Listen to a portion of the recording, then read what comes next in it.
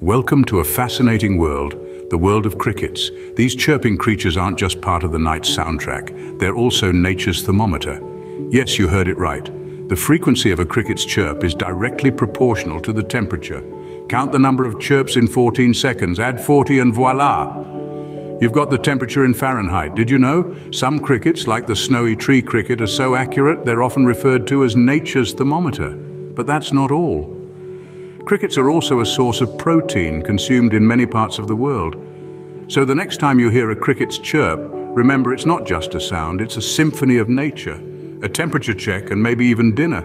Dive deeper into the world of nature with us. Stay curious, stay fascinated.